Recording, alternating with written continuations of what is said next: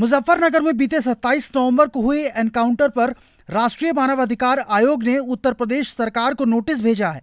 राष्ट्रीय मानवाधिकार आयोग ने उत्तर प्रदेश के मुख्य सचिव और डीजीपी से मुजफ्फरनगर के इस कथित एनकाउंटर पर चार सप्ताह में विस्तृत रिपोर्ट मांगी है और पूछा है कि आखिर किन परिस्थितियों में एनकाउंटर हुआ और मारा गया युवक कैसे बड़ा अपराधी था।